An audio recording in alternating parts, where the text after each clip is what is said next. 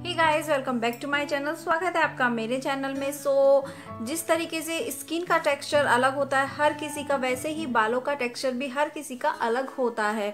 जैसे स्किन पर हर किसी को हर प्रोडक्ट सूट नहीं होता है वैसे ही बालों पर भी हर किसी को हर तरीके का प्रोडक्ट या DIY सूट नहीं होता है। बट हम उस चीज़ का इस्तेमाल करने का तरीका बदल सकते हैं कि वो किस तरीके से उसे यूज़ करें, कि वो हमारी स्किन पर सूट हो और उसे उसके जो जितने भी अच्छे इफ़ेक्ट्स हैं वो हमें मिले। आज हम बात करने वाले हैं बालों के बारे में। सो बालों का झड़ने के रोकने के लिए आपने काफ़ी सारे प्रोडक्ट का यूज़ किया होगा। घर पर भी काफ़ी सारे डीआईवाई वगैरह का यूज़ किया होगा।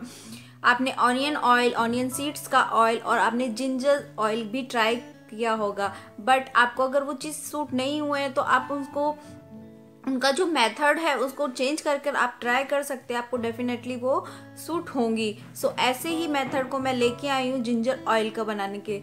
काफ़ी सारे वीडियो में बताया गया होगा कि जैसे कि जिंजर का आप रस निकाल कर कोकोनट ऑयल आप जो भी ऑयल यूज़ करते हैं उसमें आप मिलाकर उसका यूज़ कर सकते हैं। बट जो मेथड मैं आपको जिंजर ऑयल का बताने वाली हूँ, वो हमारे आयुर्वेद में बताया गया है कि किस तरीके से जिंजर को हमें यूज़ करना चाहिए अपने बालों के लिए, किस तरीके से उसको प्रोसेस करना चाहिए कि वो हमारे बालों के लिए इफ़ेक्टिव हो। तो देरी ना करते हुए चलिए मैं आपको बताती हूँ कि आपको किस तरीके से बनाना है जिंजर ऑयल अपने बालों की ग्रोथ के लिए। जिंजर ऑयल बनाने के लिए आपको जिंजर को अच्छे से धो के क्लीन करके उसकी मिट्टी निकाल के उसे धूप में ड्राई कर लेना है। धूप में ड्राई करने के बाद में वो कुछ इस तरीके से दिखेगा। और उसे हम, उसके बाद में आप उसे दर दरा मोटा मोटा कूट लें। आपको जितना ज़रूरत हो आप उतना ही कूटें। एक बार के लिए ये काफ़ी है। एक बार आपके बालों में ऑयलिंग करने के लिए इतना जिंजर काफ़ी है। उसके बाद में आपको लेना है कोकोनट ऑयल आपको जितना अपने बालों के लिए यूज़ हो उतना आपको कोकोनट ऑयल लेना है. सो so, कुटी हुई जिंजर को आपको डाल देना है कोकोनट ऑयल में और उसे अच्छे से मिक्स कर लेना है. और उसे अब आपको ले जाके रखना है धूप में तीन से चार घंटों के लिए. जी हाँ आपको इसे धूप में रखना है तीन से चार घंटों के लिए. और आप देख सकते हैं कि इसका कलर चेंज हो जाएगा कुछ ही देर में। इस तरीके से देखिए, हमारी जिंजर ने पूरा रस छोड़ दिया, जो सनलाइट की वजह से, जो धीमी धीमी हीट की वजह से इस पर जो इफ़ेक्ट पड़ा है, ये बालों के लिए काफ़ी अच्छा होगा।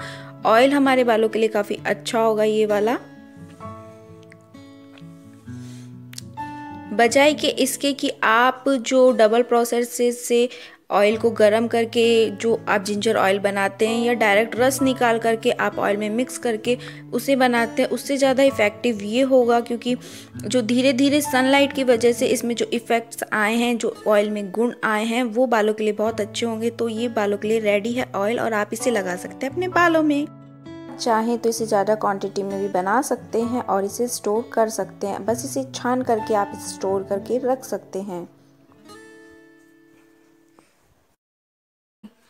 सो आई होप जो आपको मैंने जिंजर ऑयल बनाने का जो तरीका बताया है आपको पसंद आया होगा और ये बहुत ही सिंपल डीआईवाई है। आप आराम से अपने घर पर इसे कर सकते हैं और अपने बालों की ग्रोथ को बढ़ा सकते हैं। सो so, जाने से पहले प्लीज़ मेरे चैनल को लाइक शेयर एंड सब्सक्राइब ज़रूर कर दीजिएगा। आई होप आपको मेरा वीडियो पसंद आया होगा तो आप डेफिनेटली सब्सक्राइब ज़रूर करेंगे। Thank you for watching my